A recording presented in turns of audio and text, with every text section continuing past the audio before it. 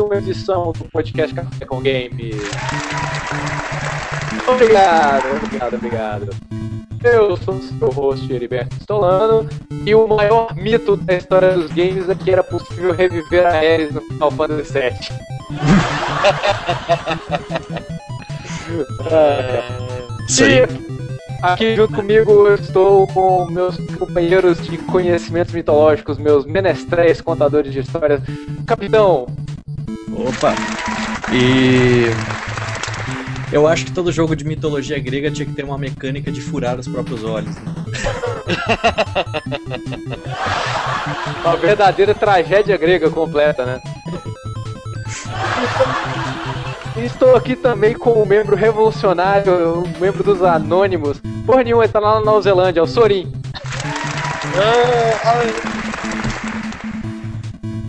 Não, o maior, maior, mito de verdade, cara, é falar que a backward compatibility vai continuar para sempre.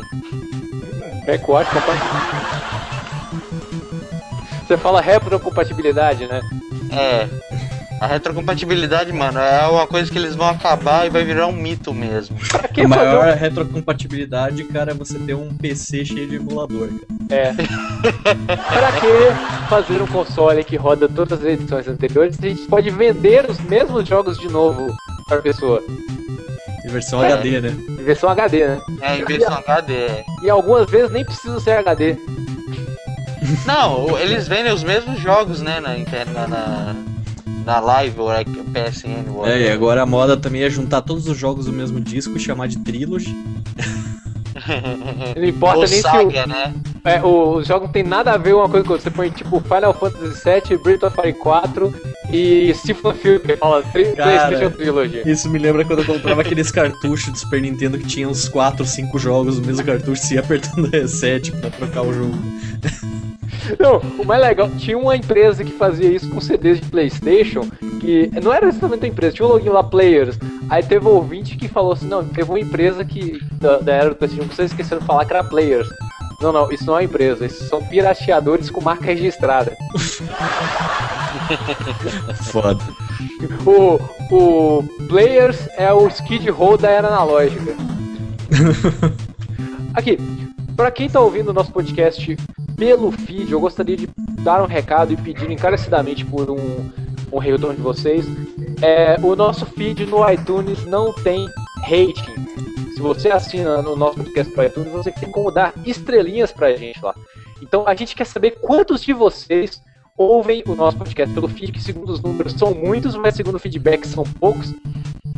Então a gente quer conceder estrelinhas, nem que seja pra dar uma estrelinha só pro Café com Games que tá ruim pra caralho. Dê o seu feedback, pelo menos pra gente saber quantos de vocês estão assinando o feed pelo iTunes, beleza? É, okay. e aí você vai fazer a gente amar vocês no plural. Isso aí.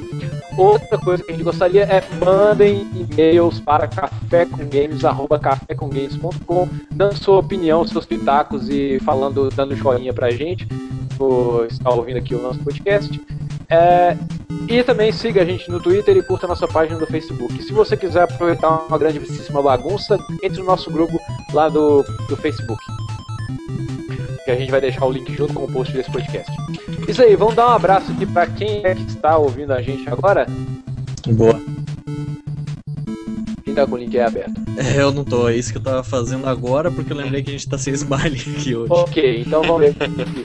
A gente tá aqui com o Pedro Henrique, Pedro Henrique Scoleste, o Jag Perneta e o Rafael tá Canela. Tá dando eco aí. É. O Mr. Hug Leone, Hugo Leone, Pedro Henrique, o Jag Perneta. Então vamos lá, vamos continuar aqui com essa, essa transmissão. É, então, gente, a ideia é. Primeiro eu vou perguntar, como é que você tem andado aí na Nova Zelândia, cara? Ô, cara, tem andando legal aqui. Eu vi a, a estátua do Gollum lá no, no, no aeroporto, que ficou foda pra caralho. E tô aqui só aproveitando o dia nesse verão que fica chovendo e nevando, mas tá de boa. Isso é porque é verão. A gente teve aqui uma. A gente teve uma semana aqui que a gente não pôde exibir o podcast por motivos de força maior e Battlefield 3. Como é que você tá, capitão? Ah, Eu tô jogando Mass Effect non-stop. Dois?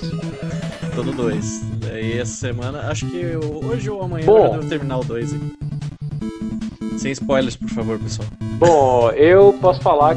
É, eu posso falar que, bom, eu vou lançar, eu acho que meu último vídeo de XCOM da série que eu tava planejando, porque eu acabei zerando o jogo e depois Aham. de 30 horas, mesmo no normal, não consigo mais olhar pra ele. Vou guardar e esperar alguns meses pra voltar a jogar de novo. É seguinte, a gente resolveu que a gente vai falar aqui sobre a mitologia nos games, né? Games que trabalham inteiramente têm as mitologias. Não confundir com aquele nosso podcast que lançamos ano passado sobre religião e não confundir com, vídeo, com jogos de videogame históricos, né? Tem que diferenciar o que, que é mitologia, o que, que é fato e o que, que a gente tem que tomar cuidado para não chamar de mitologia quando na verdade é a religião de alguém e ofender essa pessoa. É, vamos soltar aqui o mais conhecido pela galera. Vou começar aqui em ordem alfabética pelo Age of Mythology. Eu acho que o mais conhecido de todo mundo quando se fala diretamente de jogos de mitologia, eu acho é o Age of Mythology. Pra quem não lembra, o Age of Mythology ele foi um spin-off da série Age of Empires, né, que era um estratégia em tempo real. Só que ele, em vez de trabalhar numa mesma história, uma coisa, ele faz uma mescla das três principais mitologias da história da humanidade, que é a grega, a egípcia e a nórdica. Então você tinha três, é, três povos para poder trabalhar, os gregos, os. Eu tô achando que, sei lá, talvez tá com mau contato esse fone aqui. Pode ser Às isso? vezes pode ser. Ô, ô. Mas eu não tá mexendo bom. tanto. Agora tá bom? Agora tá bom. É. Vai entender. Vai entender. É, então, assim, pelo, como a gente começou pelo Age of Mythology, né? Que é o spin-off de Age of Empires, só que com superpowers, titãs e, e deuses.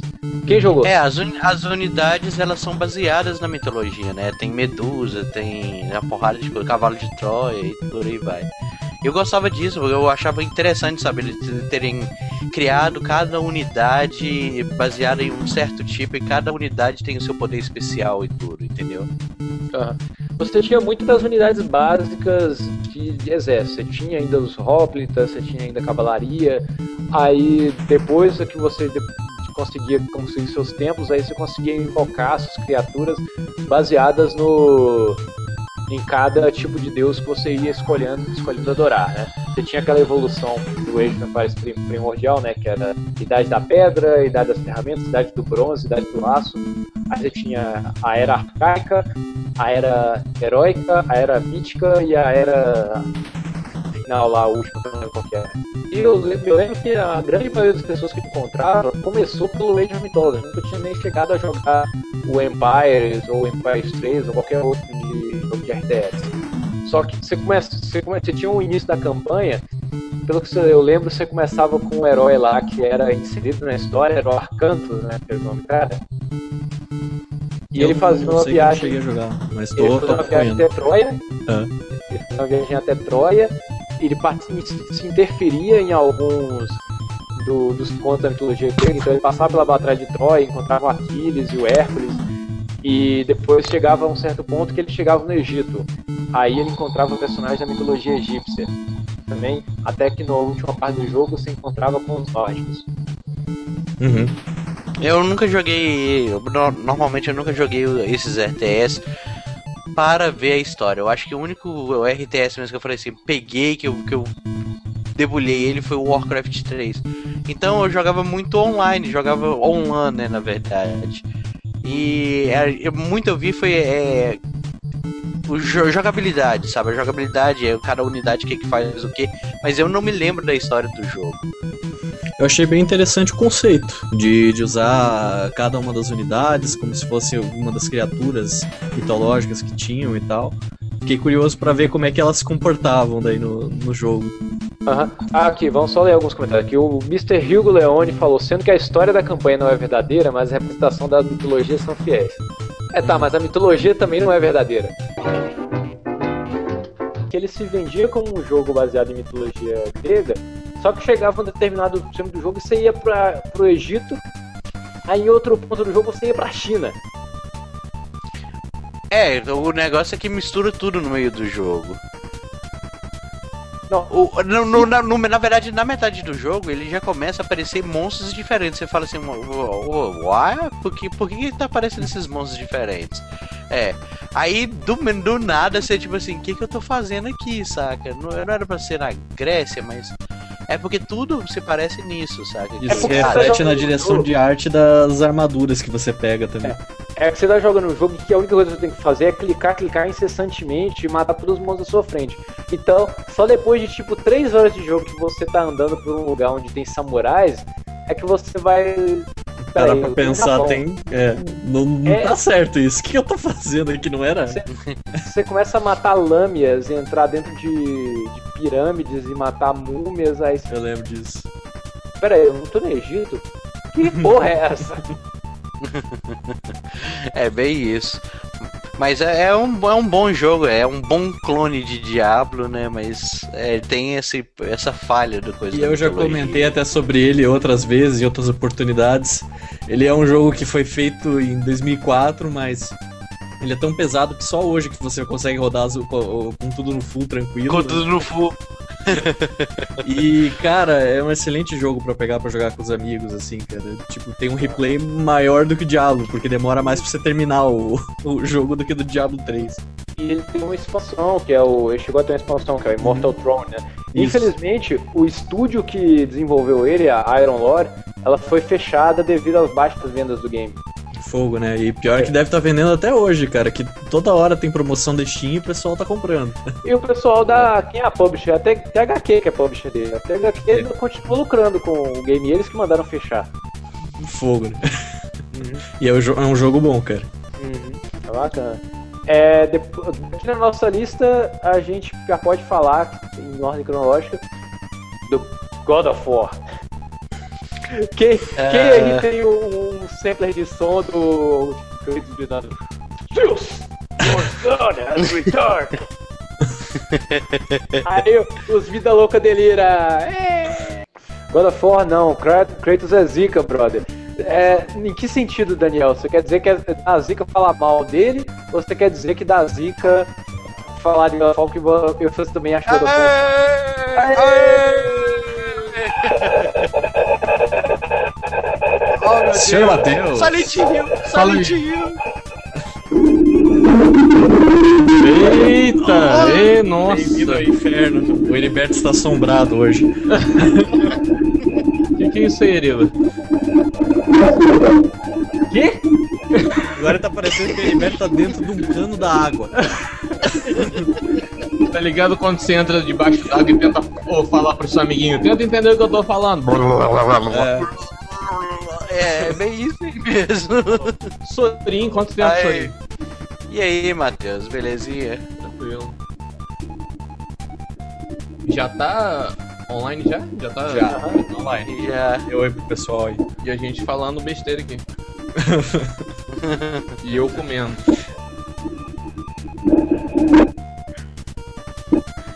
O Eriber tá assombrado, mano. Tá. E pior de, o pior de tudo é que ele vai assombrar um monte de, de ouvinte também. Não, e o pior é que quando a gente tava conversando um pouco antes ali no, no Hangout, que não tava ao vivo, tava de boa, né? É! Vai pro ao vivo dá sozinhaca aí. Mas então, já começaram há muito tempo, já entraram em um assunto. A gente tá falando não, não, a gente... God of War. É, a gente só ia começar God of War agora. Olha lá, lá, lá, lá, lá, lá, lá. God of War. God of War. God of War, God of War, é. Aí, e agora? E agora? Tá. Não. Melhorou, melhorou. Melhorou, mas tá no é. eco. Tá estranho. Agora o Gilberto fechou, Acho vai abrir fechou. Ah. Então, vamos continuar aí. Segue o bonde.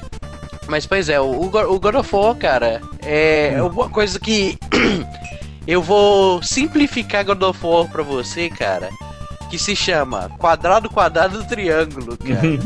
Não precisa de mais nada no jogo, cara. Eu sei que muito fã vai. Eu, antes que eu falem, eu sou fã, tenho todos os jogos da série.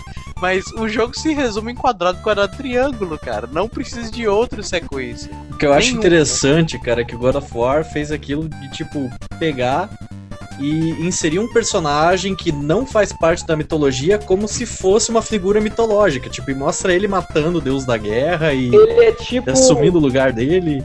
Ele é tipo o Hércules da Disney, só que com aquela violência que só agrada garotos de 12 anos de idade.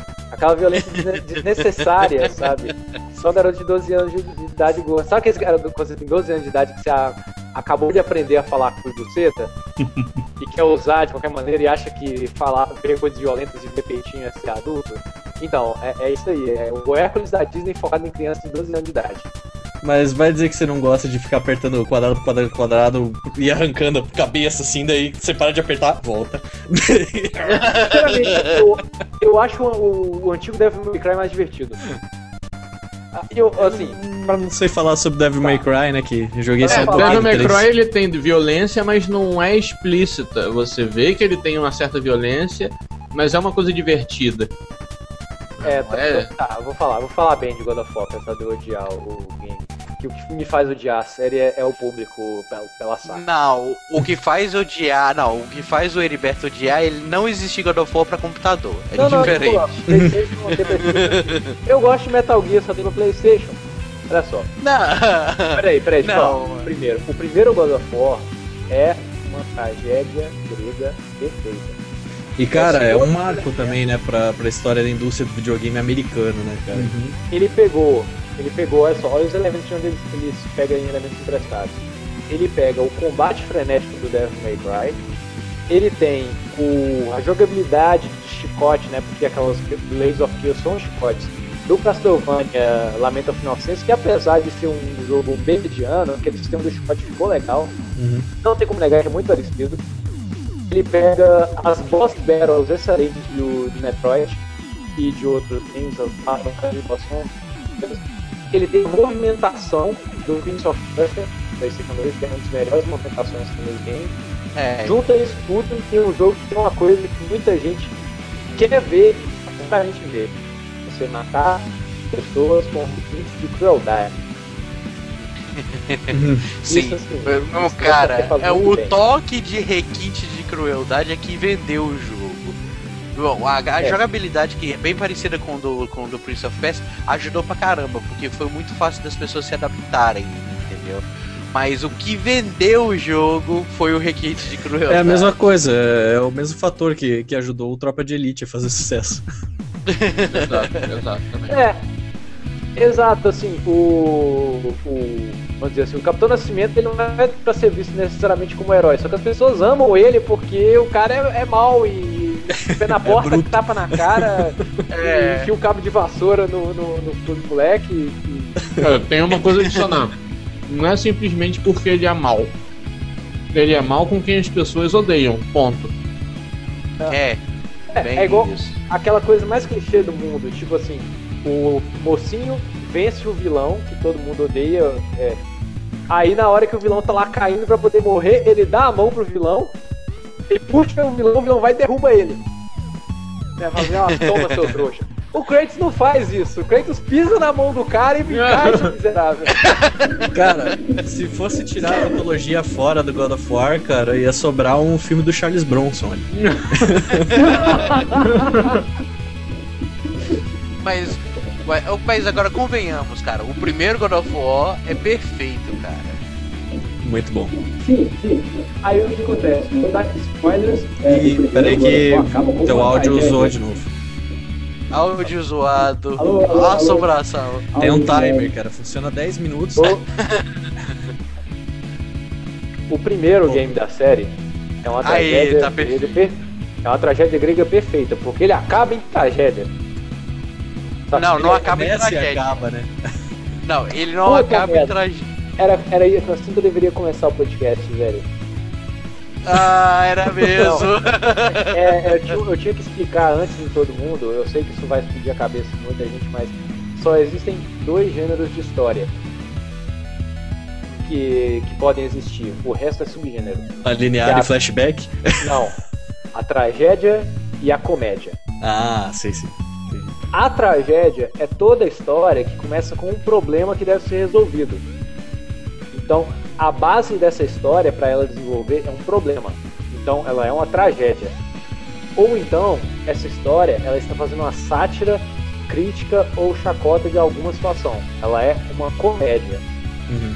Então, muitas vezes, uma história pode não necessariamente ser alegre, mas ela está, digamos, zoando o, o- alguma coisa, ela é uma comédia. E uma história que não precisa ser necessariamente triste, mas ela está tratando de um problema, ela é uma tragédia. Foi o teatro grego que definiu essa- essas duas instituições, e se você for tentar classificar qualquer tipo de filme, obra literária ou até game, você consegue classificar dentro de tragédia ou comédia. É, Aí depois você ramifica. a galera não pode é, ser completamente é, absolutista e falar tragédia como uma coisa completamente horrenda e dolorosa, né? é de onde parte o, o estopim do, do seu roteiro. Então, assim, é, tem- existe a tragédia grega, que ela começa com um- um- os feitos de um herói e, infelizmente, todo herói quase sempre morre. Né? Ele vai até o ápice do, do- do seu heroísmo e depois ele tem uma queda. Então, é o que acontece com o Kratos. Mas como o show deve continuar, existe God of War 2. É, os cemitérios estão cheios de heróis. É, Não, mas o- o- esse que foi o fato. É aquela coisa. Por que? Por que não deixar ele? Por quê? Por que não deixar o quê? Cortou bem na hora. Por que não deixaram ele morrer? Entendeu? Ah, Por sim. quê? Saca? Então, aí no 2, tá, beleza, você pode tentar continuar a história. porque No 2 eles chegam lá e põem o elemento de história que aos 35 minutos do segundo tempo sempre cai qualquer história que é viagem no tempo. É. Porra, bicho. Não, eu, não vou, eu não vou contar em detalhes, porque isso pode sujeito com spoiler, mas assim.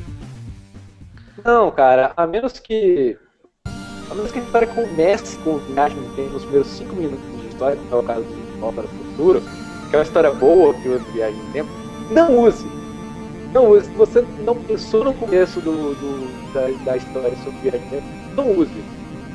É, como o Eriba mesmo diz, é a desculpa pra, pra qualquer buraco de roteiro é viagem no tempo. Aí, não, é viagem no tempo, implante de memória e colocar familiares no meio da jogada.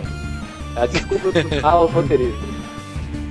Aí, beleza, pra tirar a, a história, of War ainda é um jogo bom.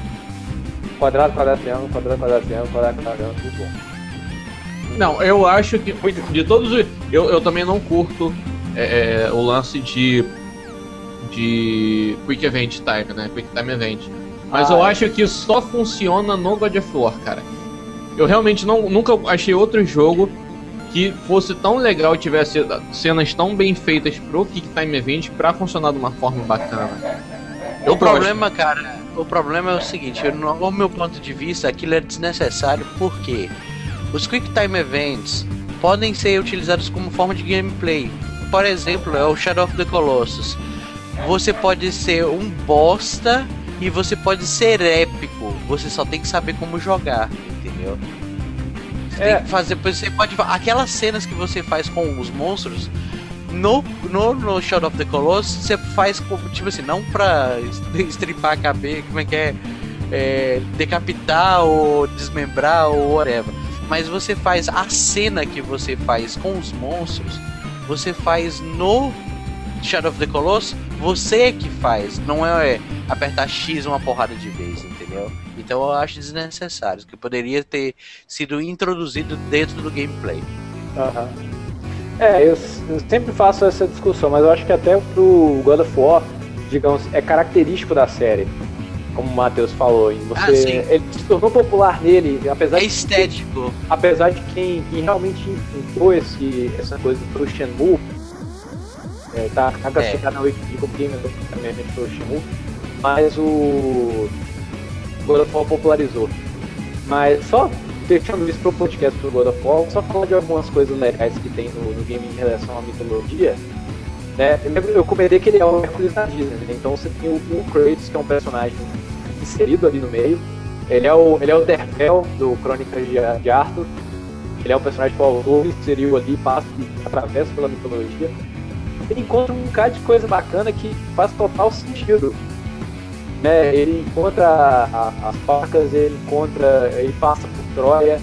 Ele. Bem que a escala do, do, do Kratos é bem deuses, né? Ele chega e toma o trono do deus da guerra, Ares. Lembro de ter visto, tipo, tem uma parte do game de um da série, se eu não vou dizer qual, que enfrenta a Era, e a Era coloca o filho, o filho dos Zeus, o filho bastardo dos Zeus, pra ele, que é o Hércules. Chegaram pra ver essa parte. É lógico, Não, eu lógico. não, eu não zerei, eu não zerei o, o, o primeiro God of War. Não mas esse primeiro, não- Esse não é do É, primeiro, era do esse acho que é do esse é do terceiro. É Esse do terceiro. Ah, então pior ainda. Pô, você invoca os 300 Leônidas no. Você vê que 300 Leônidas é a história real, não é mitologia, mas você invoca os 300 Leônidas no game. Isso é maneiro, cara. Pra quem gosta Maneiro, de maneiro. ficar vendo essas referências, é bom, eu só consigo lembrar do Hércules da Dino, quando ele pega uma pedra, joga no lago e quebra os braços da Vênus de Milo. Aí a Meg fala. Ficou bem melhor assim. o, o, personagem que você vê, por exemplo, o labirinto do Dédalo, que é completamente diferente daquilo que você poderia esperar. Não é um labirinto, é um monte de caixas que se encaixam e formam um labirinto tridimensional. Que é, não é só um caminho que você fica perdido, é pra cima, pra É, baixo. eles, eles tiraram aquele lance de, de que medieval é uma coisa velha e parada e, e meio que como a- a- o povo daquela, daquela época tinha visão dos locais. Eles colocaram realmente, eles deram uma, meio que uma releitura para para esse tipo de ambiente, né? Você falou aí o lance desse, desse labirinto e tal. Eu acho que eles fizeram isso meio que até nos deuses, quanto na- nas, nas locações, nos monstros também. É aquela coisa, cara. O visual dos monstros, o visual ficou legal. O visual dos deuses é meio galhofado, saca? Mas ficou legal, sabe? Olha só, pra caralho. É, pro jogo. depois que você assiste um filme chamado Imortais, nada é galhofado. Nada é galhofado. Cara, Immortal é muito ruim. Eles põem um sujeito que é a cara daquele lobinho do, do Crepúsculo, colocam uma armação de, de- parece de arame, é arame aquela porra. O resto é tipo o meu, assim, só um de arame na cabeça dele. E o cara vestido só uma cinga e manda ele mergulhar e fala que ele é o Poseidon. Ah, Oh. Desligado. E, e- e também aqueles, aqueles titãs lá, né? Que merda de titã é aquele, velho? É um monte de, de mano amarrado, tipo, é, é sadomasoquista e os malucos se, se multiplica. Velho, é muito, muito, muito tosco. Não, mas pois é, o problema é o seguinte, algum do, do, do- dos. O igual tá falando lá que era meio galhofado. É, mas realmente, depois de Imortais eu não posso falar que eles são galhofados. Mas é tipo assim, é, aquela estética funciona dentro do, do coisa. É uma coisa que, tipo O assim, ela é justamente ele atrai pra você ver pela visão deles. Então é uma coisa que ficou legal, principalmente aquele labirinto. O labirinto, na hora que eu entrei, assim, ah, labirinto do Dedo, eu falei assim, ah, lá vamos nós, o labirinto, saca? Na hora que eu vi aquelas cartas, eu falei assim, que louco, saca? Porque mudou, sabe? Minha, minha, é aquela coisa, questão de percepção, saca? A percepção que você tem de um labirinto é aquela. Aí você chega, você toma uma coisa totalmente diferente na cara, você fala assim, poxa, te chama atenção, saca?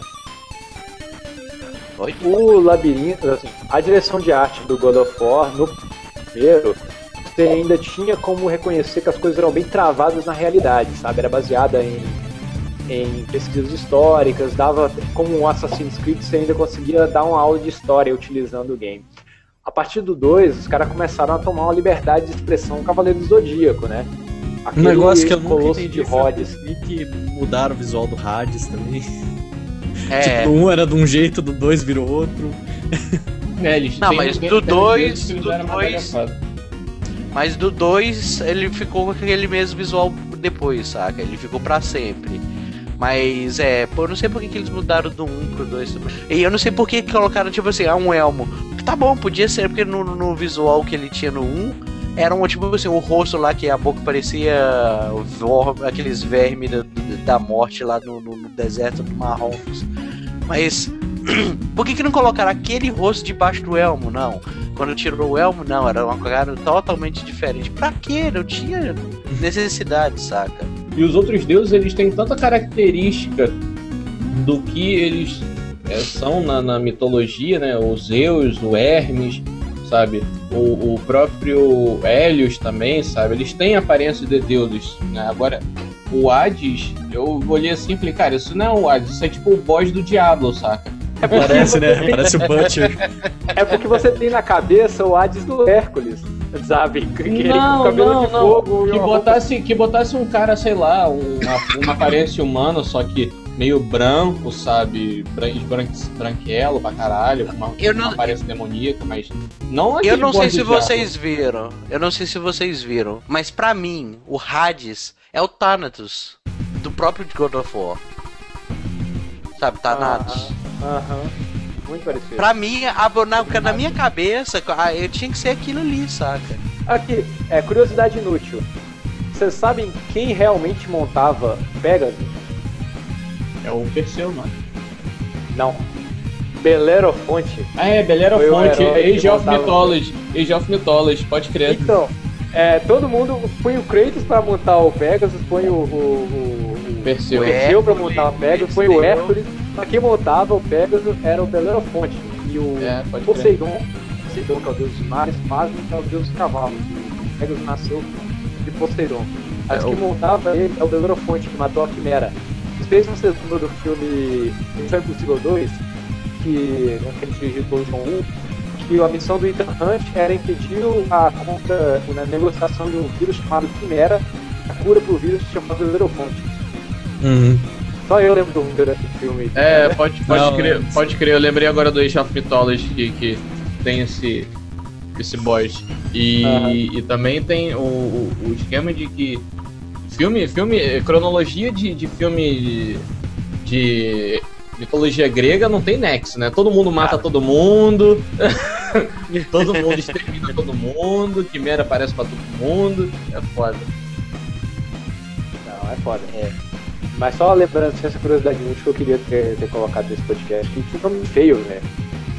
É Daniel Lopes, Belerofonte. Com esse nome não tem credibilidade nenhuma. Deve ser parente do Ariel Fonte. Baduts. É, o Eriba travou rindo, morreu de morreu, morreu rindo. Ai, ai. Quais outros jogos que a gente pode. Já falaram de Age of Mythology? Já falamos de Age, né? Aham. Falamos de. É, próximo aqui que a gente vai Teu áudio voltou ruim, cara. voltou ruim já. Voltou ruim. Daqui a pouco, preocupa não, é, o, é, o, é, a, é a janela de tempo, daqui a Ele- pouquinho ela volta. Heriberto É. agora se encontra em um bunker da Segunda Guerra. Aqui, quem, quem Voltou, colocou tá o bom. Cavaleiro do Zodíaco na lista? Foi aí. Vamos deixar Cavaleiro do Zodíaco pro momento galhofa da mitologia, tá bom? Pode ser? Mas eu acho que o ápice da mitologia grega foi o, foi o God of War. Só lembrar de um jogo que é mais ou menos, que é o Rise of the Argonaut, que você faz exatamente a, a, a- como é que fala, a, o percurso da história de Jazão e os Argonautas. E você pega a história do Jazão, só que eles colocam um sistema de decisão no Mass Effect no game, só que acaba não interferindo em quase nada no, no curso. E os produtores do game pretendiam fazer uma continuação sobre o Teseu, mas não rolou. Apesar do Teseu. Mas, é, voltando. Jogos que morreram na praia.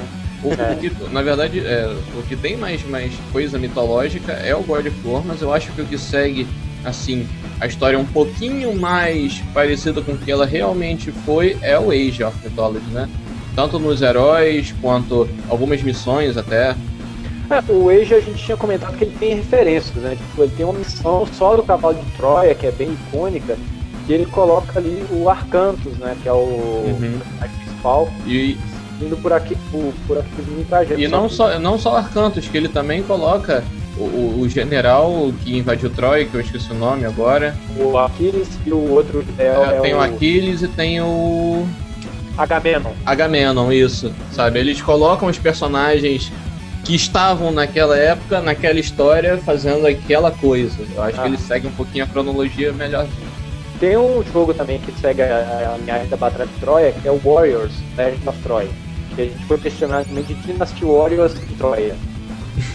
É a mesma coisa. É um jogo Que maravilha. Com a jogabilidade de God of War, só que você tem os heróis da Batalha de Troia. Esse joguinho é bacaninha, bem sanguinário também. Qualquer coisa acho que tem Troia ou espartanos tem que ter sangue na tela, velho.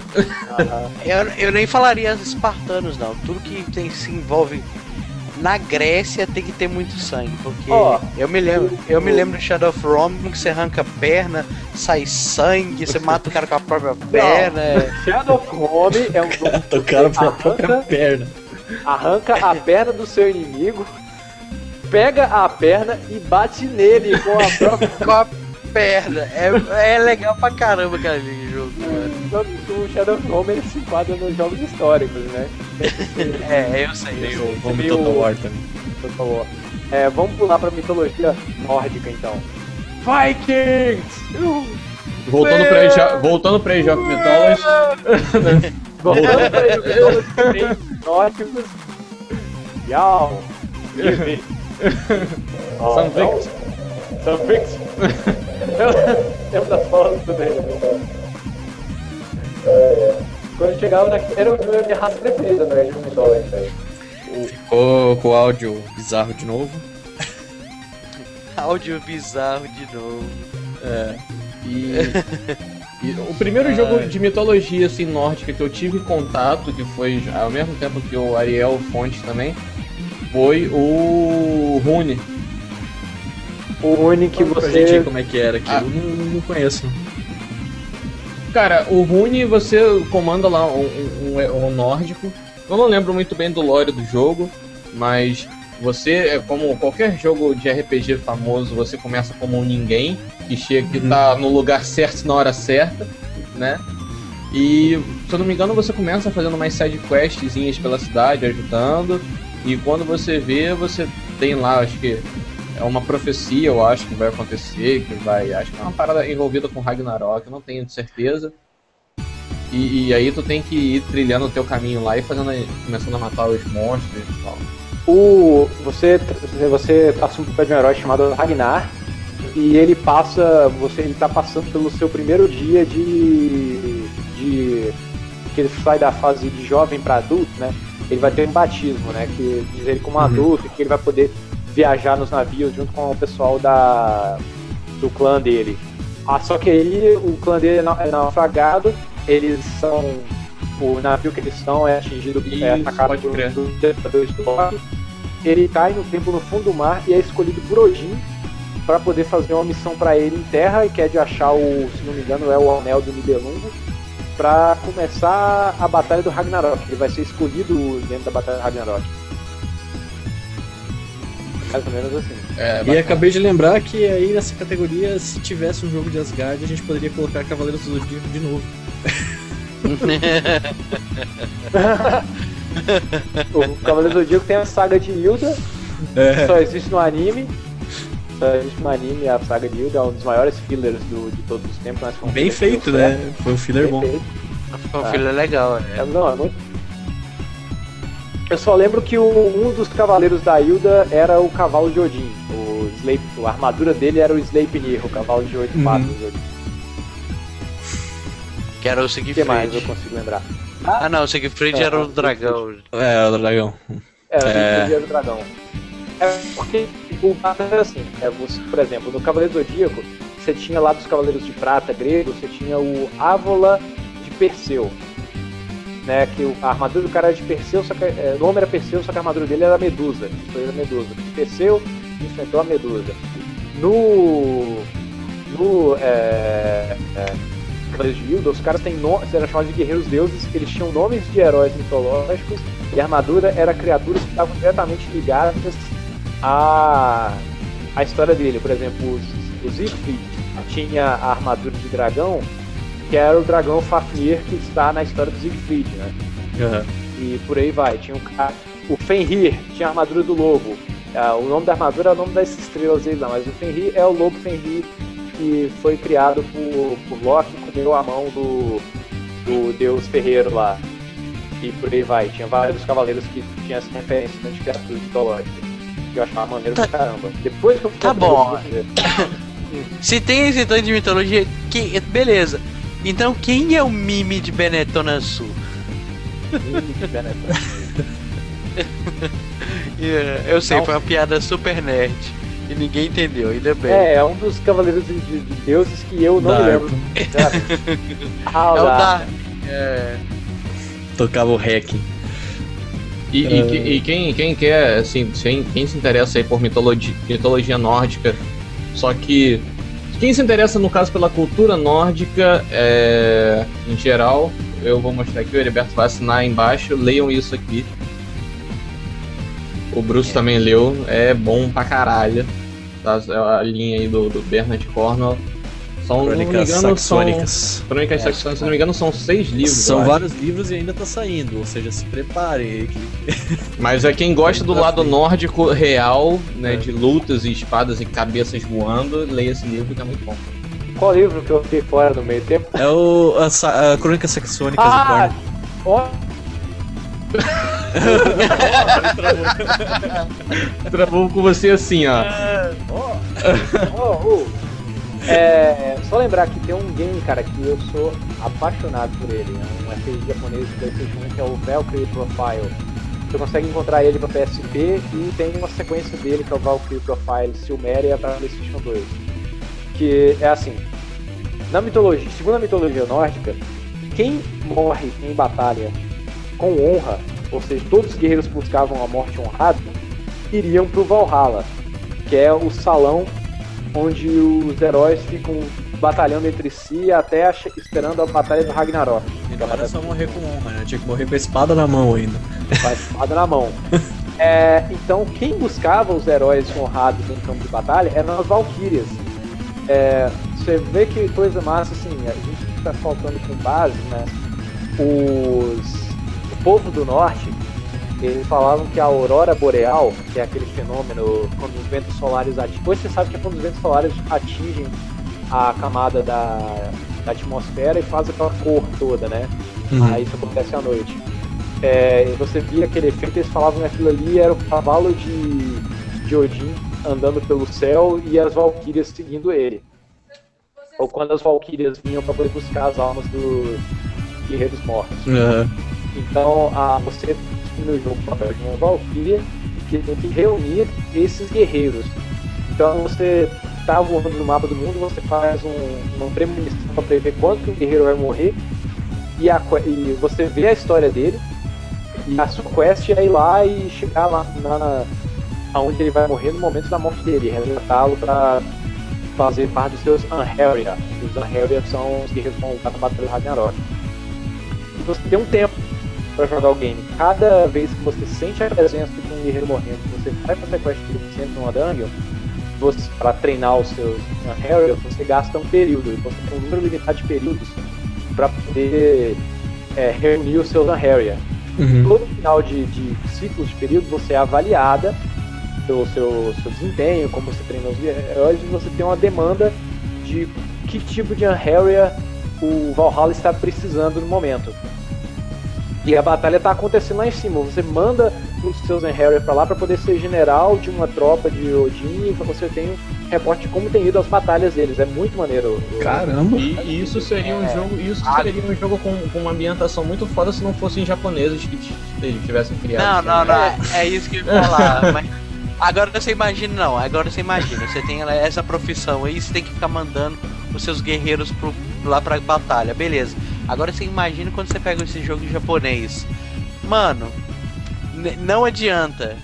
Eris toda hora, toda hora, toda hora vinha e me destruía.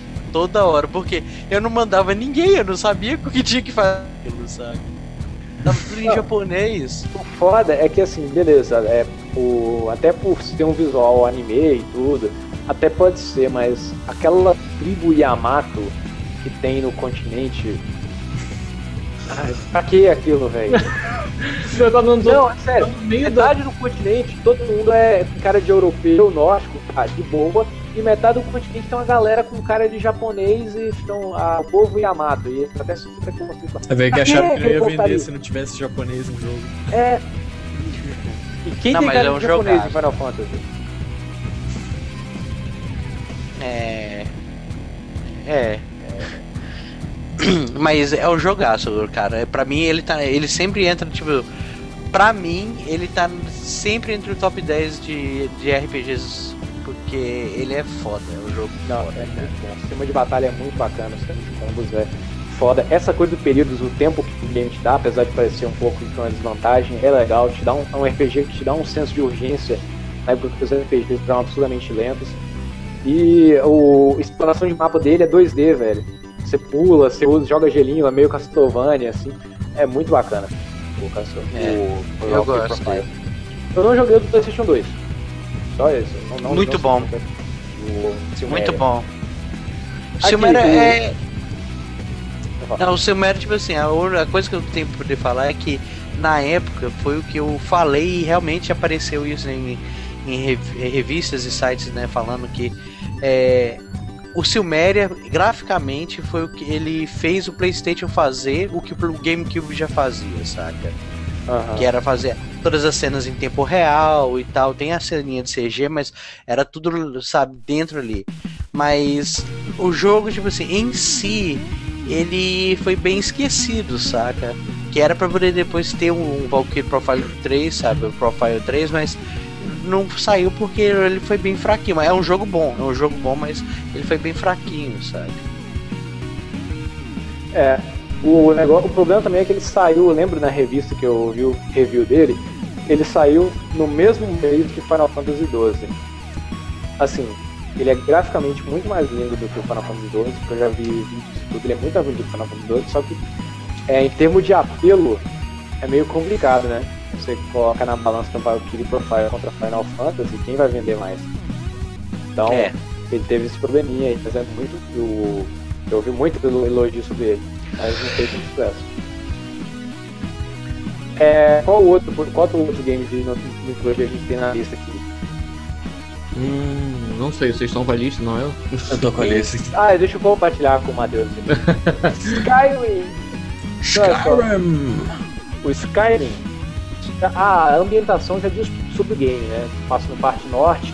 É, agora vamos só lembrar alguns termos, me ajuda aí, Sonia, alguns termos legal, legais. É, o, no- na história do Skyrim, o Império ele está dominando ali a região de Skyrim, né? Eles estão tá tendo uma guerra ali entre o, o que é bom, os donos daquela terra que nunca foram ajudados pelo Império, que é os Stormcloaks, e tem o Império com cara de Império Romano que está forçando a barra ali para cima. O Império Romano, o, o Empire, ele está impedindo, ele, está- ele proibiu o culto a Talos, deus cujo símbolo é um martelo. Quem se lembra pra vocês? E o Talos, ele desde o início da mitologia do mundo de, de- do continente de, do, de Tyrell, ele é um deus com o martelo, ele é um deus ferreiro, ele é um deus da, da chuva, do trovão e abençoador dos guerreiros. E o povo de Skyrim, eles sempre comentam que quando eles vão eles morrerem, eles vão para um lugar chamado Sovngar, Só Vengar, é. onde todos ficam lutando até Me fudendo. o, até o fim dos tempos. Comendo, bebendo e fudendo em É. Sovngar. É muita coisa E de mitologia nórdica com um outro nome, né, cara? Com outro nome. Sovngar, Valhalla, Sim. é, Talos, Thor.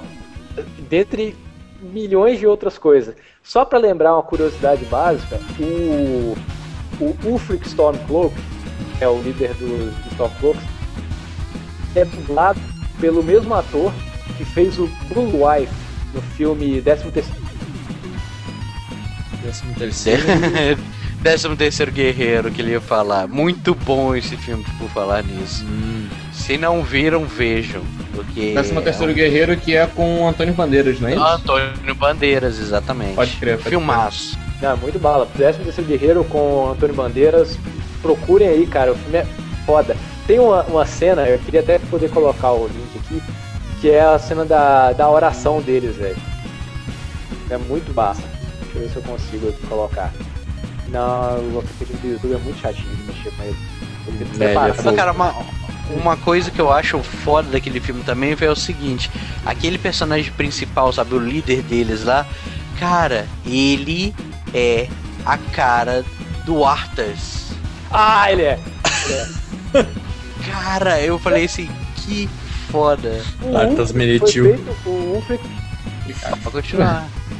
o Caía, Ulfric travou foi feito. É.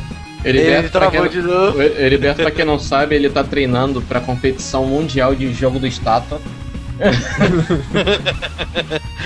Que ele ele tá ganharia. saindo bem, ele tá saindo bem, ele nem se mexe. velho. Aí já voltou já. Você tava falando do Ulfric? Não, o, Flick é feito em cima do visual. Porra!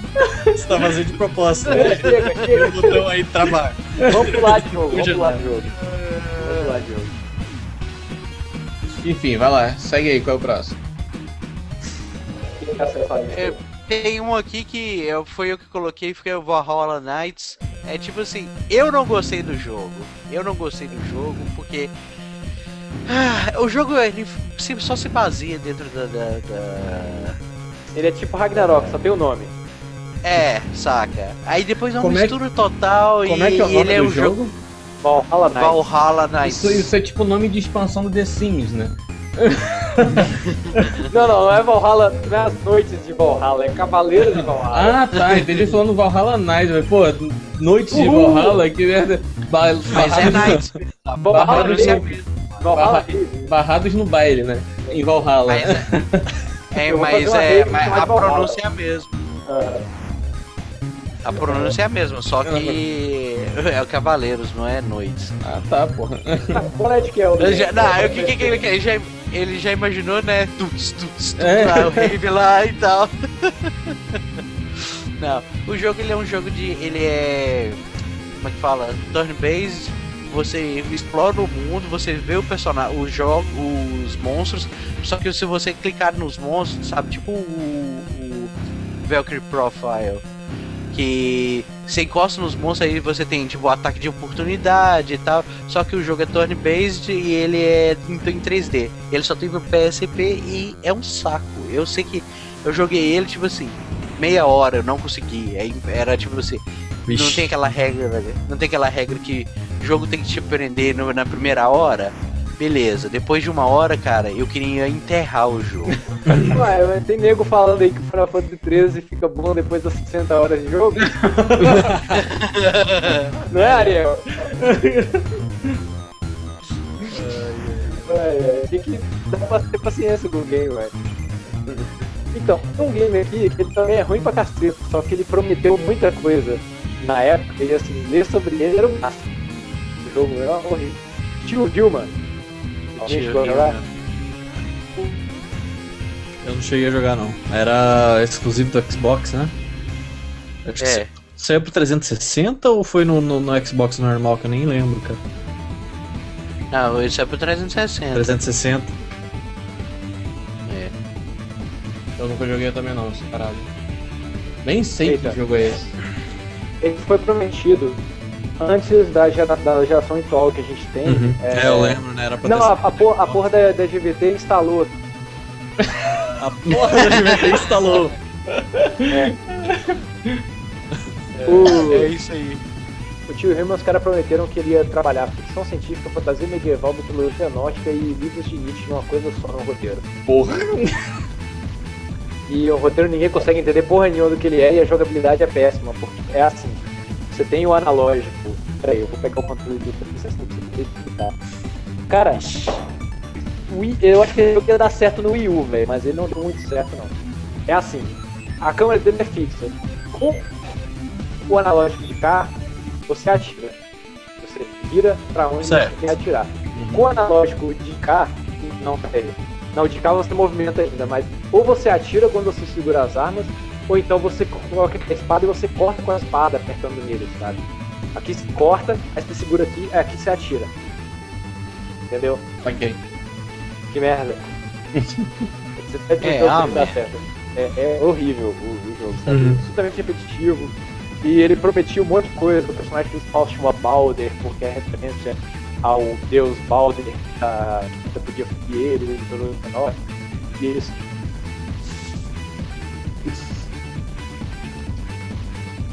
eles.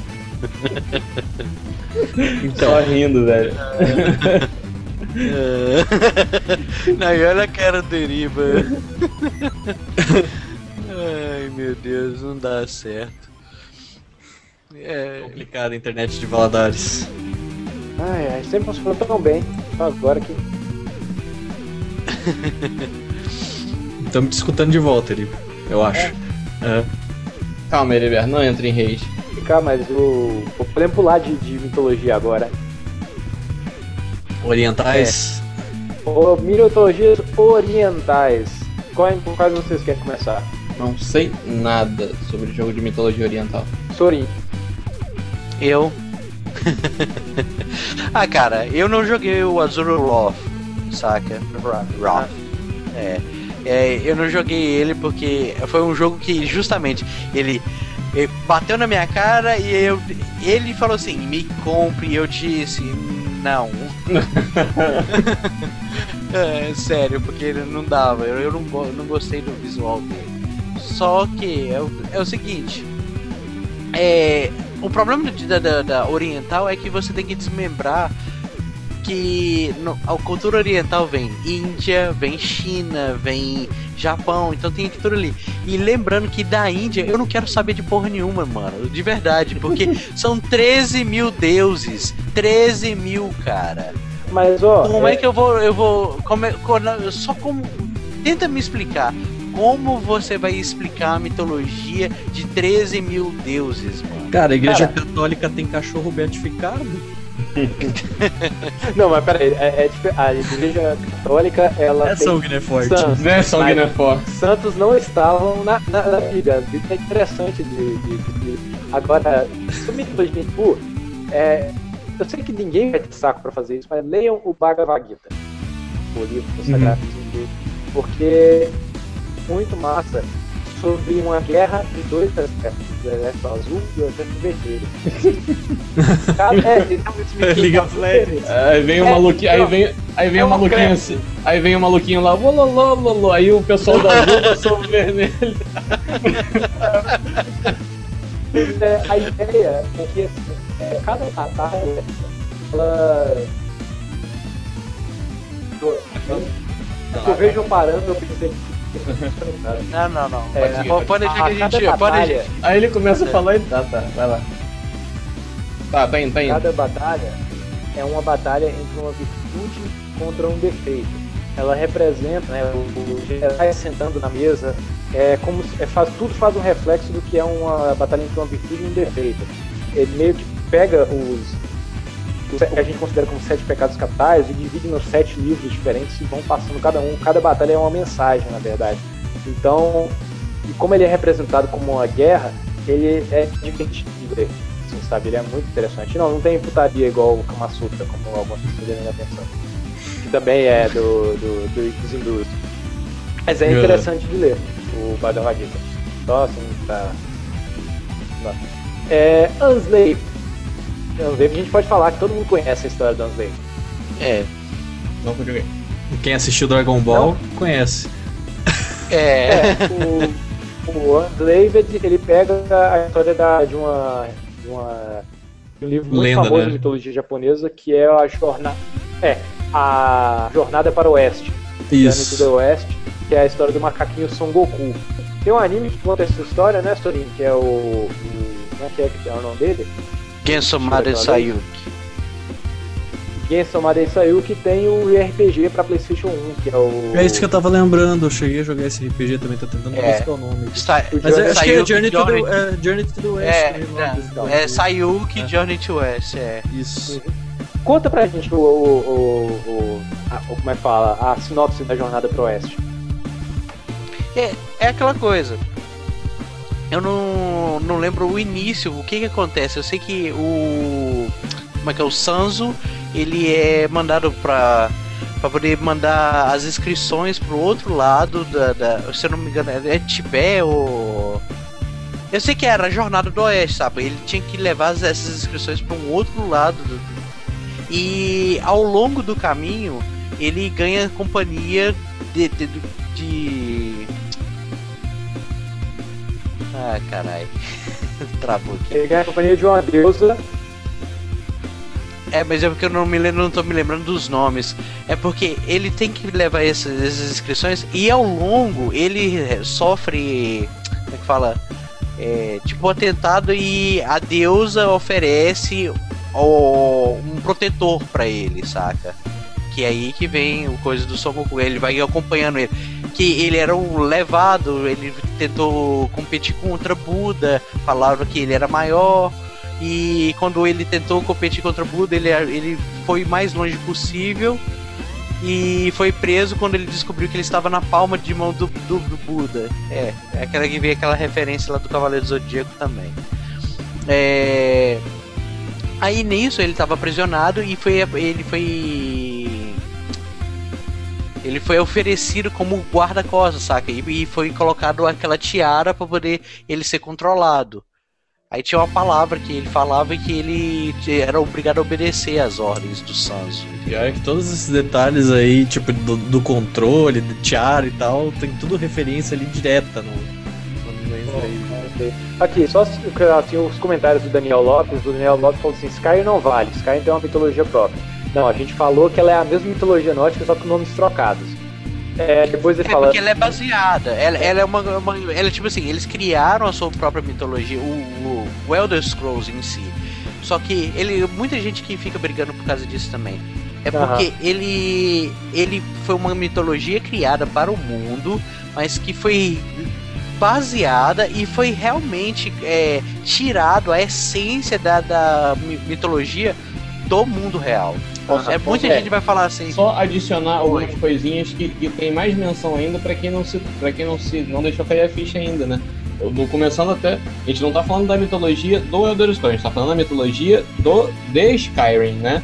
Começando ah, pelo isso. nome do, do, do, do, povo que mora lá, que são os Nordes, menção aos nórdicos, obviamente, e a, uma que só a galera que conhece mais que vai saber é que os anões em Skyrim viviam no subterrâneo igual à mitologia nórdica, que é. os, os, anões viviam no subterrâneo não, na, na raiz de Yggdrasil.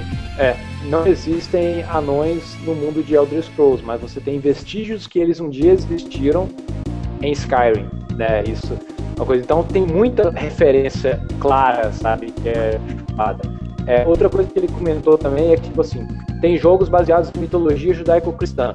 Ainda existem cristãos e judeus no mundo. Então, se você chamar a religião deles de mitologia, você ofende. É. Sabe, você, pode, você pode ofender essas pessoas, então deixa quieto também.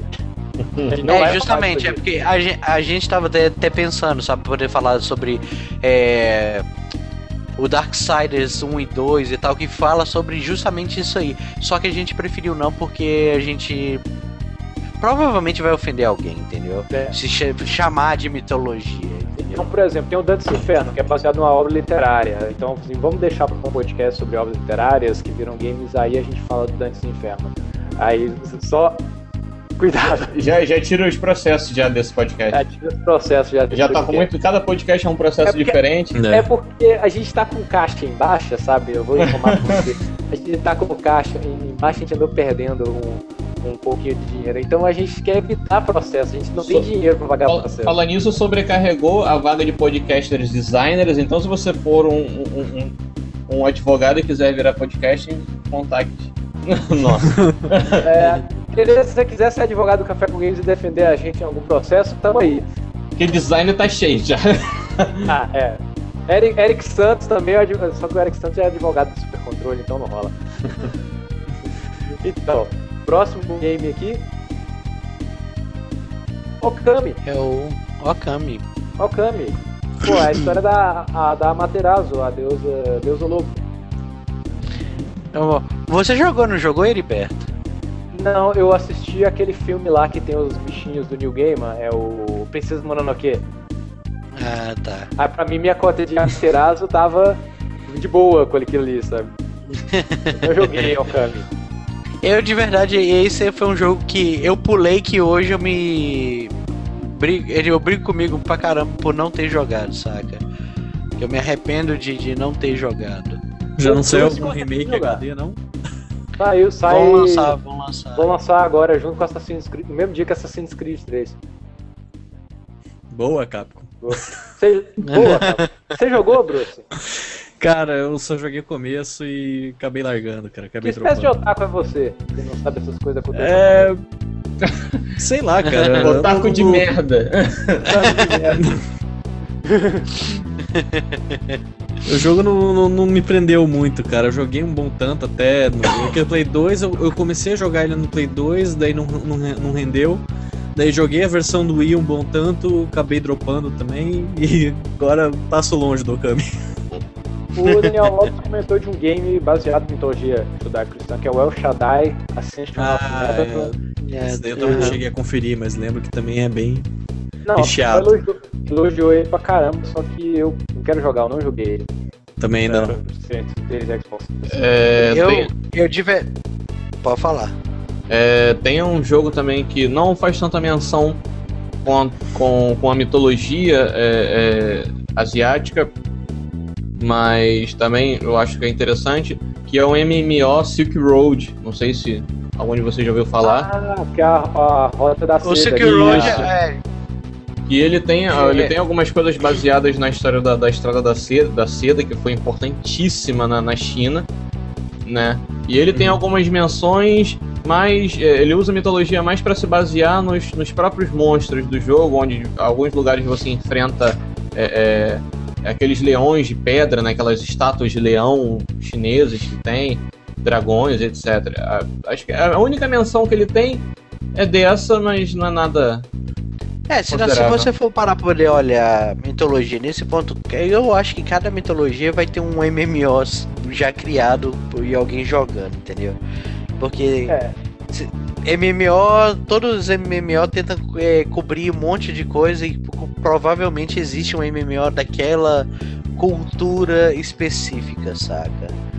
o nome Silk Road, né, a Rota da Seda, ela vem porque foi a rota encontrada por Marco Polo para chegar até a, a- o Oriente, a China, e era usada para comercializar seda, né, que era o principal bem de consumo que era importado da, da China. Essa Rota da Seda, ela se transformou na linha de trem, que é aquela o Expresso Transiberiano, que o é porque Uhum. a última vez que eu ouvi falar dele foi quando o, o- a Glória Maria fez uma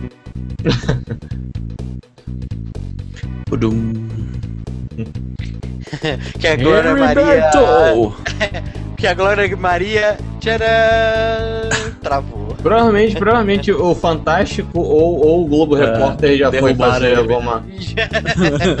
Acionaram lá o, o Google, ó, derruba esse cara que tá falando da Glória, Glória Maria. É, Voltou Aí ele. voltou, Gilberto. Voltei. Ah, tá um isso aqui, velho. Ah, acontece, mano. Você viu que você ficou um tempasso sem dar pau. é, Já deu pau. agora vai tudo uma vez já. Só porque a gente falou. Tinha ficado um tempasso já. Acho que agora a gente só precisa falar aqui do- dos jogos que são indiretamente ligados, sabe? E que eu sei que a maioria dos jogos eles têm uma cultura particular, ou então, sabe, uma mitologia própria e tal.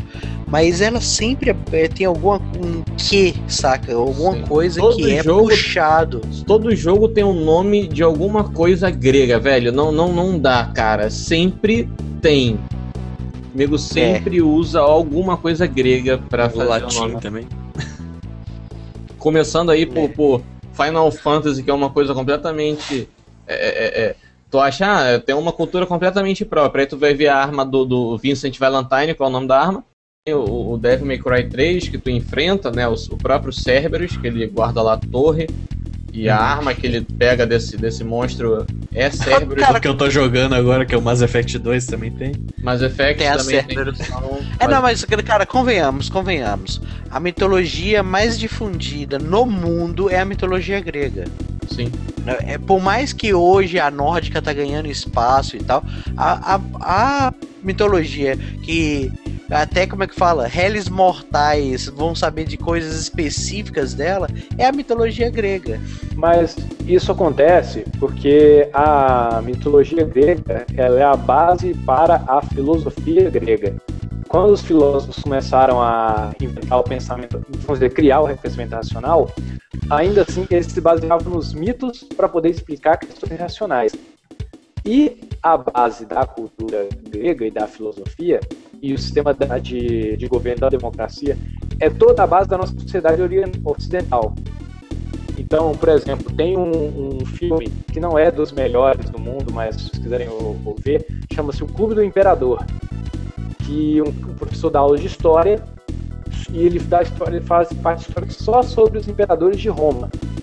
E o, tem um filho de um senador, que é aluno dele, que tem problemas em aprender a matéria dele. Aí o, o senador fala: por que, você acha que meu filho tem que aprender isso?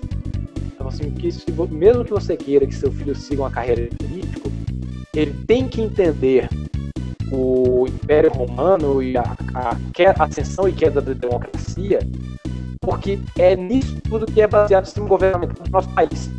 O sistema americano é totalmente baseado no sistema do Império Romano de Roma, tanto a parte do Senado da democracia quanto do, do Império.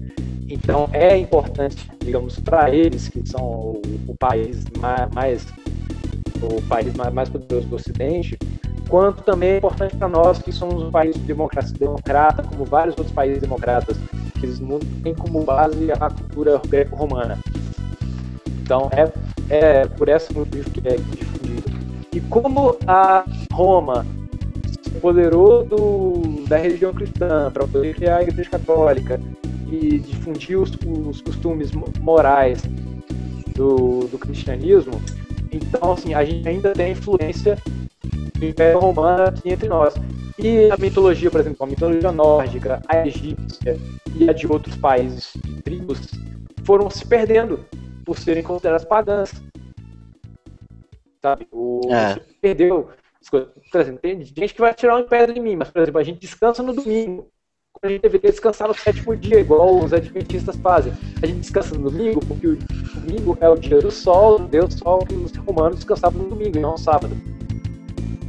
É, aí vem Sabe, aquele é. coisa, né? Como a piadinha que eu vi na internet, tá assim, o cara vai falando assim, um monte, o nome de um monte de Deus, aí ele fala assim, Pelo, pelas minhas pesquisas aqui, você não acredita em 99 deuses, então você é 99% ateu. É mais ou menos isso.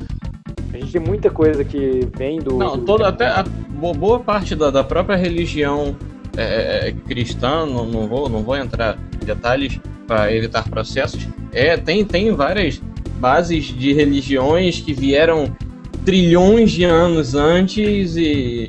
Sabe? Não, mas isso é, aí... é- isso é aí- nesse isso- caráter aí, quem tiver mais curiosidade, é bom pegar e ir atrás do material lá do Joseph Campbell, que você vai ver muita da- das coisas lá. Ele explica tudo, é É, material muito é, bom. Tem no É a Netflix. mesma história contada numa porrada de vezes. Tem o documentário do Campbell no, no Net- Netflix? Tem no americano. É só você fazer o gambiarrinha pra acessar com o IP americano ali já. é. Ó, que foda, velho. Porque tem também naquele filme Zeitgeist, a primeira parte dele é interessante, Também. você vai ver a quantidade absurda de similaridades que tem com certas mitologias e com certas religiões do mundo. Até, até, mesmo, até mesmo o fato, um simples fato aí de, de ligações entre mitologias e religiões é, é o que eu acho assim, fico mais inculcado é a parte de dragão, cara. Simplesmente dragão. Existem povos que nunca tiveram contato entre si, um que mora no extremo, é, extremo oeste da América Central e outro asiático, e eles têm mitologias similares, cara, tipo, dragão, sabe? Um- Uma porrada de cultura tem uma certa visão de, do que é um dragão, mas elas nunca tiveram contato, sabe? Eu acho isso É, mas Olha é igual eu falei, a história dessas mitologias são simplesmente a mesma história contadas de formas diferentes. É, é uma coisa que, tipo assim, é uma coisa que, que de, talvez devia ser natural dele, sabe? É, um- talvez que seja uma história que venha lá do, do, do passado que foi Que é uma coisa transmutando. que é uma história interessante. É, a gente tem o Zeus, que é o deus do trovão, é o pai de todos os deuses e é também um tremendo comedor. E agora o Logo, ele Jim. Ele é um deus da fertilidade. Vamos pegar o deus. É. Só que o Zeus, ele é filho do Cronos, que é o deus do tempo, que sabe tudo o que acontece e o tempo todo o que vai acontecer. Odin é o pai de todos os deuses, só que ele tem um olho a menos, só que quando ele perdeu o seu olho, ele ganhou os olhos de sabedoria, né?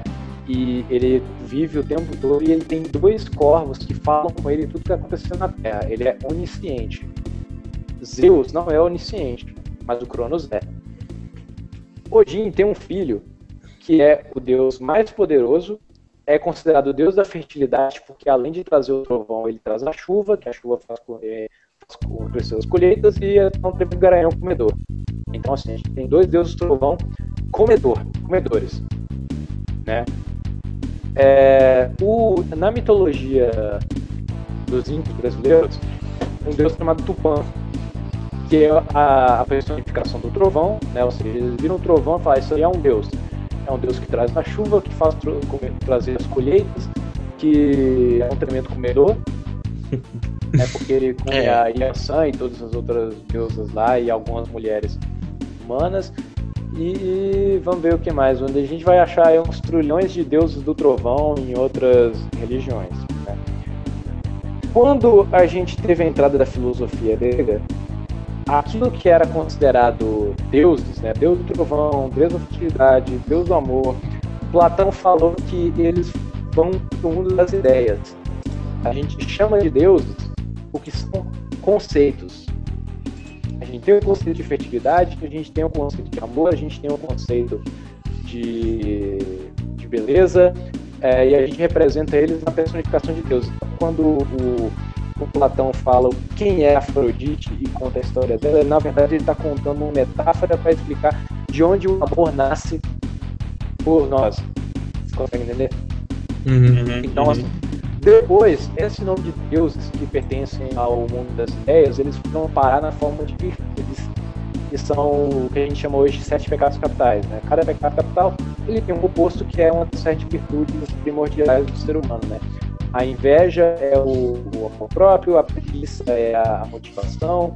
Eu não, eu não sei exatamente quais são os opostos dos sete pecados capitais, mas é uma coisa assim, pensa no pecado capital, pensa que seria exatamente o oposto dele, é uma virtude que são deuses ruins e deuses maus, que são representações. Então é mais ou menos por aí.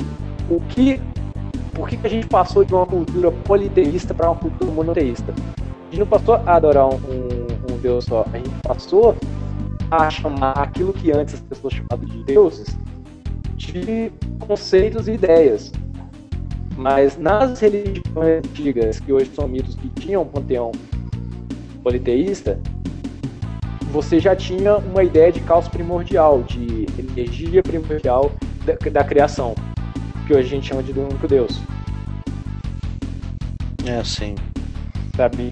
Tá, e agora a gente deve ter perdido mais da metade da nossa audiência. é uma é, aula de história. Voltando aí Não, para, mas- para jogos eh, ligados indiretamente com a mitologia. Era onde a gente tava, cara. É, só tem Voltando, mais um né? aí pra falar, principalmente que o Sorin deve estar querendo falar, o Erinia. Aí é. Ah, cara, o Erinia é, né, é o, aquele MMO da cultura brasileira, né, cara? Eu achei interessante isso. E é legal, Vocês porque chegaram- muita gente né, não conhece al- algumas coisas, né? Alguns detalhes sobre a, a pró- a própria parte né, de mitologia brasileira. Que eu acho que só não é difundida lá fora porque o- as criaturas mitológicas que nós temos não têm credibilidade nenhuma. Mas, Mas que nem eu tava legais, falando com o cara. pessoal aí antes da, da gente começar a gravar. Eu queria muito ver um jogo usando mecânica assim pra você ter que esconder os olhos e os dentes e as unhas contra uma mula sem cabeça, assim, ou alguma coisa do tipo. Porque, sabe, você. você na, na, na- na mitologia. Na, mito- na mitologia. Na mitologia é, é, escandinava você tem dragões, você tem serpentes marinhas, você tem polvos. é, na mitologia grega você tem polvos gigantes que engoliam navios. Na nossa você tem um, um guri com o pé virado pra trás, velho. Ó, cara, não é por nada mal, não, mas o carinha com o pé virado me dá um medo do caralho. E ele tem cabelo pegando fogo ainda. O cabelo pega no fogo, é. Aí você tem o, você tem o nosso Loki, velho, o Saci. É, Nossa, assim é o Loki, né? É o Trickster. É o Trigger da parada. A gente, olha só, tem duas cri- criaturas que são bem comuns na nossa cultura é, da América, que é o Quetzalcoatl, que é um deus é, maia, que é um homem com corpo de Eita, cobra, que cara. até, até É. ataca com um trovão, velho. Um trovão. E você tem a Boitatá, que é uma cobra pegando fogo. Como tem coisas pegando fogo na nossa mitologia, né, velho? A mula sem cabeça, que de acordo. E legal são as origens da, da, da mitologia, né? Que a mula sem cabeça, se eu não me engano, é se nascerem. É, é, se eu não me engano. é, acho que é uma. Uma, uma mulher se casar com o padre, eu acho, se for a sétima filha e se casar com o padre, vira mula sem cabeça. Cara, é, sei lá, é um negócio Coisa meio. aleatória, né, velho? É, o do, lobi- o do lobisomem na, na- na- na- na mitologia brasileira é que se você tiver uma família com seis filhas e nascer o sétimo homem, ele vira lobisomem. É meio random, né? É porque, é porque no país tem 500 anos, né? Essas mitologias têm tipo milhões de anos. Os monstros Agora explicação do rápido. porquê dessas mitologias era pra tentar fazer um pouco de controle de natalidade pro pessoal não ter mais do que sete filhos. Exato. E, e- e até. Mas então, mas então eu vou te falar, cara. Te falar- agora eu te falar uma coisa muito legal. É, país de 500 anos, ok. Então vou te dar um país de 300 anos que é mais tem mais mitologia que o Brasil e mais cri- crível. A Nova Zelândia. É, Não, peraí, mas eu é, vou falar Senhor dos Ai, Anéis do ai, Vale. Senhor dos Anéis do Vale. Fazer um outro comentário. Por falar, exatamente, aqui só pra eu poder falar. Você acredita que o, o, o Jaca Palladium nunca mentiu?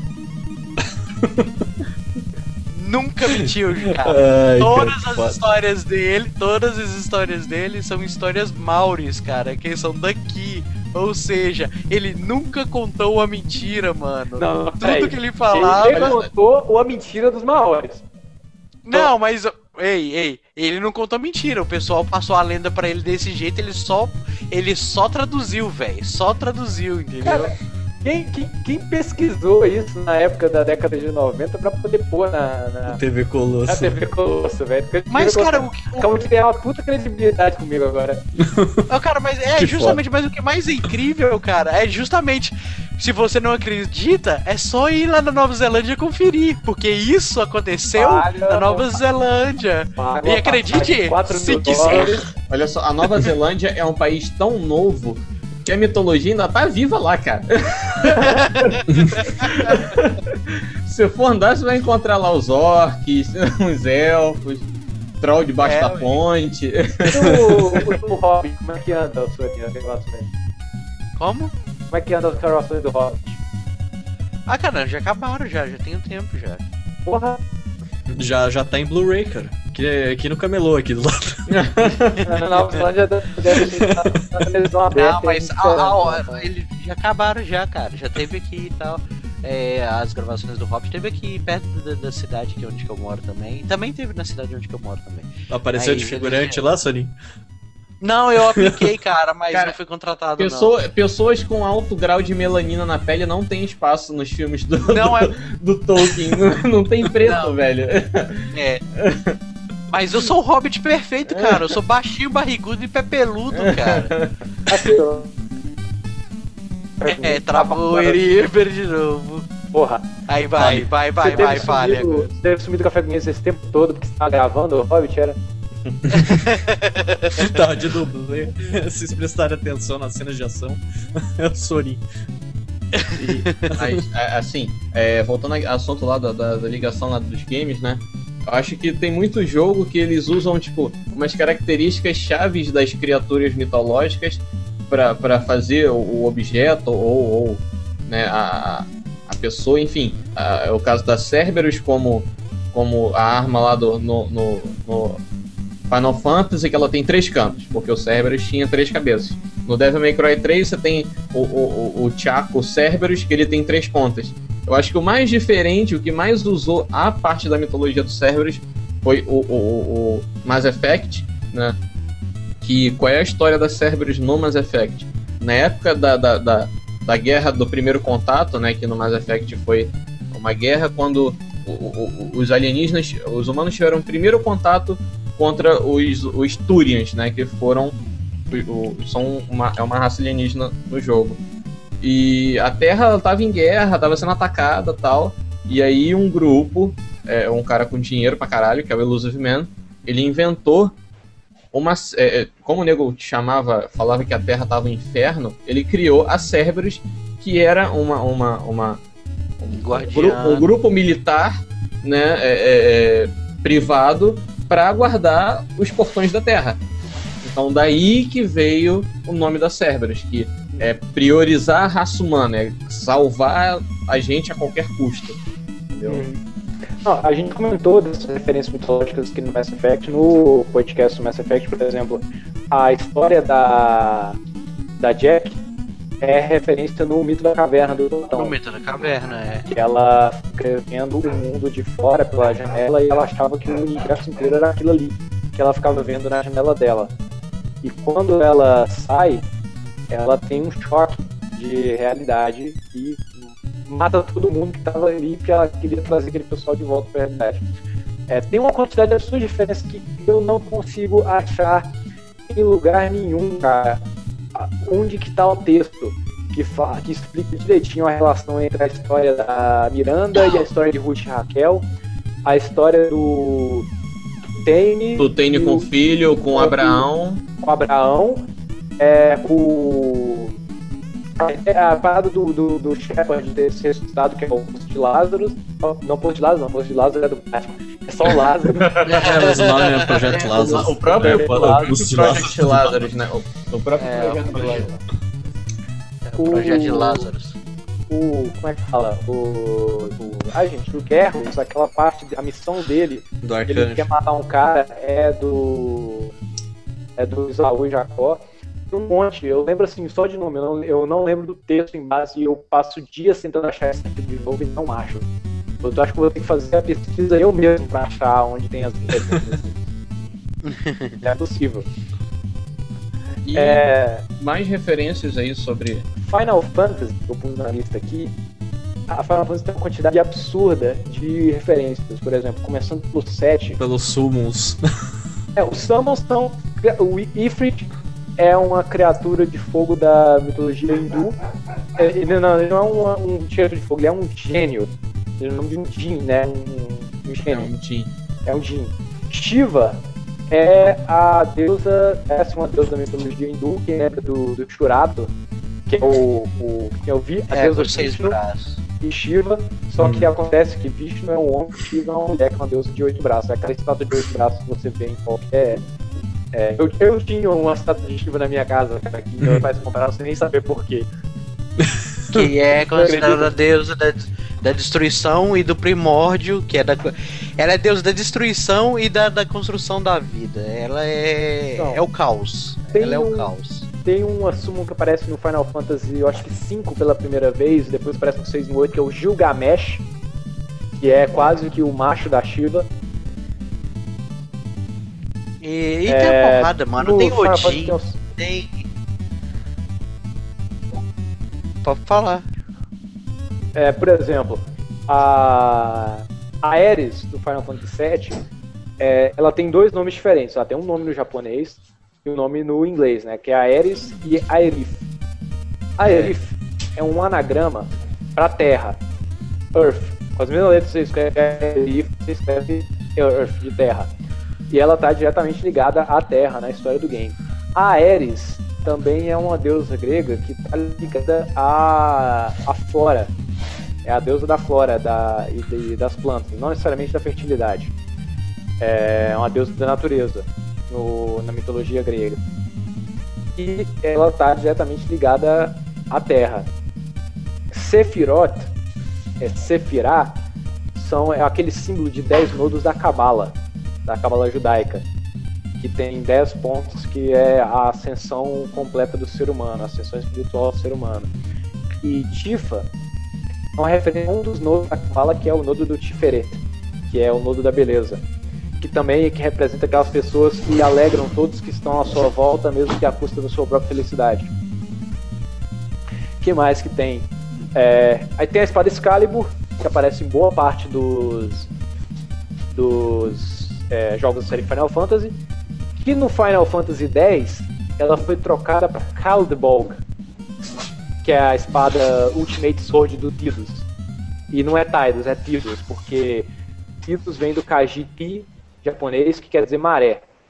Quer dizer, você acha que é Tidus porque é maré de Tai, mas é Tidus, que é o kanji japonês não maré, é um kanji japonês que representa o sol. Tidus é sol. Yuna, que é de Yui, que é uma palavra. Um, uh, Yui é lua em chinês, mas Yui E- também é lua em japonês. Também é um, um, é um kanji de lua. É, são o Sol e a Lua, Yin Yang, céu e oposto masculino e feminino. A espada do Titus, a última espada que você tem que pegar a Sun Crest e a Sun Sigil para ativar o poder mágico dela, Bow, é o nome em britânico antigo da Excalibur. A Excalibur ela tem outro nome, que é Bow. Se você É, ler cara. o Crônicas de Arthur do Cornell, tem um momento que eles falam que o nome verdadeiro da Excalibur é Bow. Uhum, tô lembrado. Essa referência, assim, eu me lembro de, de, de boa. Bom, acho que vamos encerrar, né? Já deu acho que umas duas horas de Deu podcast. duas horas de podcast. Esse podcast eu acho que vai precisar ser editado mesmo. Por causa da quantidade de cast. Mas é isso aí, pessoal. Deixe nos comentários os games bacanas que vocês conhecem, falam sobre mitologia. Mandem e-mails para cafécomgames.com e comentem pra gente o que você achou do podcast, o que você tá querendo ouvir aqui com a gente. Dê o seu feedback, porque a gente acha que vocês estão completamente dispersos e perdidos. E até semana que vem, que a força esteja com todos vocês. Isso aí. Hello, bye. Isso aí.